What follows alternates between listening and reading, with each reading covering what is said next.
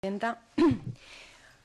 Bien, eh, nuestra pregunta era eh, ¿cuándo pagará el Consejo la cantidad que debe a la Fundación Miram?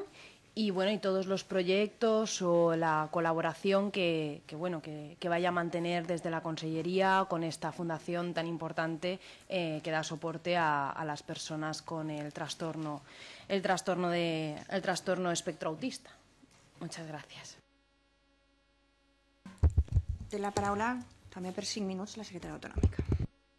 Moltes gràcies. Bon dia, senyora presidenta, senyora diputada.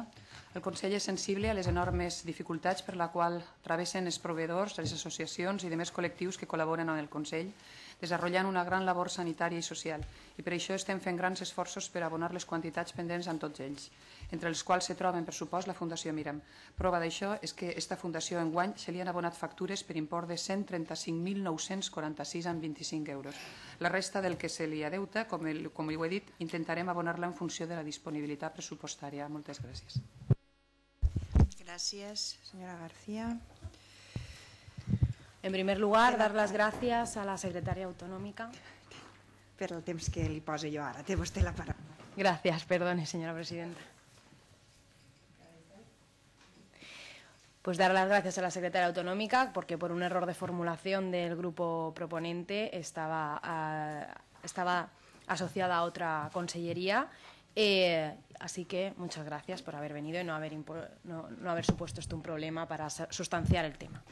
Por otra parte, bueno, comenzar diciendo que saben ustedes, eh, mejor que yo seguramente, que la Fundación Miram de lo que se encarga es de hacer una labor que es una labor necesaria y fundamental que debe de realizar o garantizar la Consejería de Sanidad para algo tan... Eh, para un, para un trastorno como es el trastorno espectro autista, eh, que tienen muchísimos eh, pacientes del país valenciano.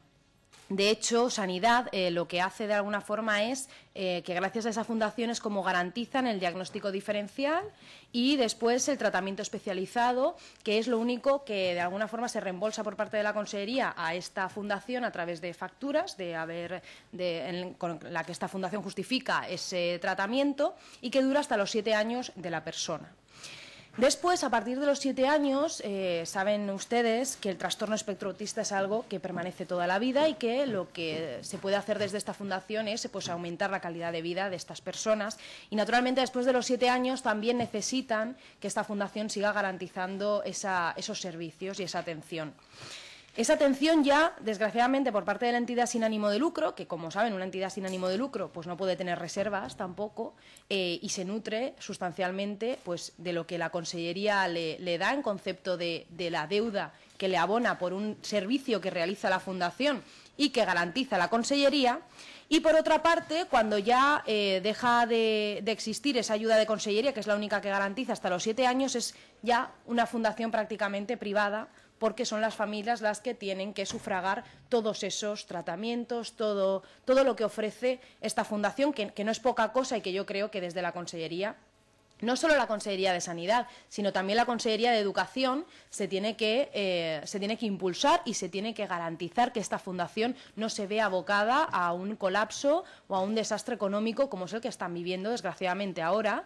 Y están viviendo una situación de una deuda de 300.000 euros prácticamente, más aparte esas eh, pólizas de seguro que han tenido que contratar o mejor dicho esos préstamos a través de los cuales pues saben ustedes que hay que pagar unos intereses además añadidos y ellos pues de alguna forma han intentado en esa economía de guerra que, se plantea a través de los impagos de la Generalitat, pues pagar primero las nóminas de los trabajadores, etcétera, una serie de prioridades que lo que les está haciendo es dejar muchísimas cosas sin pagar por culpa de ese endeudamiento.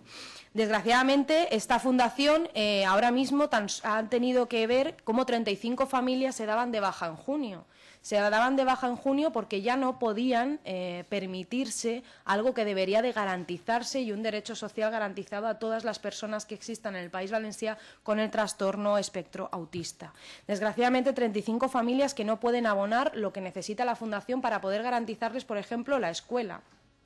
La escuela es algo que también se lo digo desde aquí, a pesar de que no sea su competencia, pero que yo creo que se debería de coordinar desde la Consellería con la Consellería de Educación, porque la Consellería de Educación viene dos años denegando por insuficiencia de crédito de la Fundación el concierto para que sea un para, para, el colegio. Un colegio que funciona de todas formas, pero sin el concierto de la Consellería. Está ofreciendo un servicio que es necesario y fundamental, y sin embargo la Consellería, por insuficiencia de crédito que viene supeditada a ese endeudamiento por los impagos del Consejo, resulta que no le da el concierto.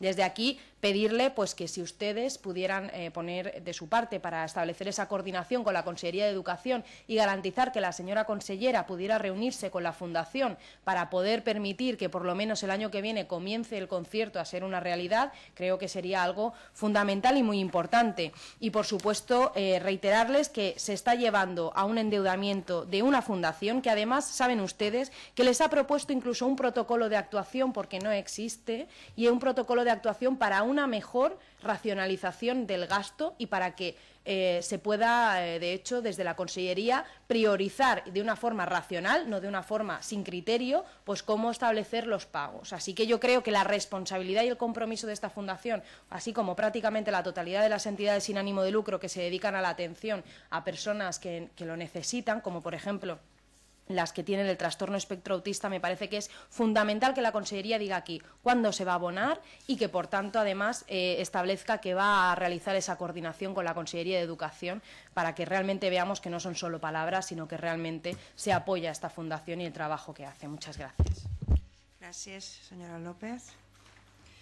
Y ahora, por 4.40, té la paraula la senyora secretària Gràcies, presidenta. Senyora diputada, coincidim totalment en que el, eh, el trastorn de l'espectre autista és una prioritat per al govern valencià i per a totes les famílies, sobretot aquelles que tenen la, la desgràcia de patir-ho de patir a casa. Eh, perdone, contesto en castellano. Es que no, acostumbro a contestar en el, en el lenguaje que se me dirige, no, no tengo ningún inconveniente, por supuesto. Eh, vamos a ver, coincido totalmente en ello.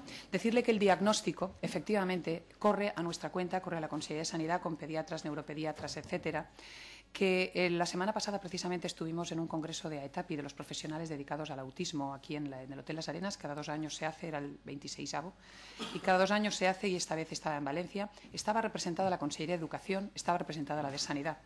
Eh, coincidíamos totalmente en eso. Está usted bien informada, por supuesto. Menores de siete años son competencia nuestra como actividad no concertada. Mayores de siete años, como la propia representante de la Fundación Miram, los hospitales de los niños mayores de siete años son las aulas, son los colegios. De ahí que la coordinación con sanidad y educación deba ser absolutamente exquisita. Eh, informarle también, como ustedes saben, que este verano se abrió una unidad de neurorehabilitación infantil en el Hospital de Manises, en el Hospital Militar de Mislata, que atiende también a los niños. Decir, no solo tenemos esta actividad no concertada, sino dentro de la red pública tenemos eh, el, Centro de Neurorehabilitación para Niños con Espectro Autista. Eh, nosotros, aparte de la Fundación Miram, damos subvenciones. Las consellerías respectivas dan subvenciones a la Asociación de Padres eh, con Niños Autistas. Por lo tanto, no es solo nuestra colaboración reflejada en la actividad no concertada con Miram, sino también con estas asociaciones. Eh, vamos a ver, hasta 31 de diciembre teníamos una deuda con la Fundación Miram, hablo de deuda de actividad no concertada, es decir, los niños que usted dice que son remitidos, una vez diagnosticados, son remitidos a esta fundación, que lo hace fenomenal, con la que tenemos una excelente colaboración y ahora le diré cómo se refleja eso. Teníamos una deuda de 126.682,50 a 31 de diciembre. Esa deuda inicialmente se iba a pagar con los fondos ICOs de junio, ¿correcto? Eh, con los ICO se consiguió, se consiguió conseguir pagar 45.007 euros. Por un defecto de forma, la propia fundación, que evidentemente no está acostumbrada a esto, sino que su, conocimiento está destinado a lo que tiene que ser, que es a tratar a los niños, cometió un defecto de forma y no se adhirió a los fondos ICOs. Y ahí viene lo de la excelente colaboración. A pesar de eso, pudiendo haber cerrado el episodio y no abonarles la deuda, se reunieron con el conseller de Sanidad y se hizo una excepción y se abonaron esos 45.007 euros en el mes de julio. Eh, a partir de ahí, lógicamente, falta parte de la deuda que se le debía hasta 31 de diciembre y toda la actividad que se está acumulando en el 2012. Pues bien, del 2012 se ha pagado, aparte de los 45.000 euros con el ICO, se han pagado ya 990.000, casi 91.000 eh, euros a esta asociación Queda, por tanto, pendiente de pago 67.637 euros de que ya está contabilizada y 191.972 que no se ha podido tramitar por no quedar saldo ya en el episodio de actividad no concertada. Por tanto, por supuesto, asumimos nuestra deuda con ellos. Por supuesto, les volcamos toda nuestra colaboración, tanto dentro como fuera de la red sanitaria. Y eh, me consta que la Consejería de Educación, no me atrevo a hablar por ellos, porque como usted bien ha dicho, no es mi competencia, pero me consta que la Consejería de Educación tiene la intención, luego hay representantes, tiene la demanda sobre la mesa de que se convierta en una actividad concertada, porque efectivamente las aulas son sus hospitales o sus consultas, eh, pero evidentemente también es un problema presupuestario. A concertar una actividad requiere un contrato, un contrato requiere un crédito reservado y ese crédito en estos momentos, señora diputada, por desgracia no podemos garantizarlo. Muchas gracias. Gràcies, senyora secretària autonòmica, per la seva compareixença.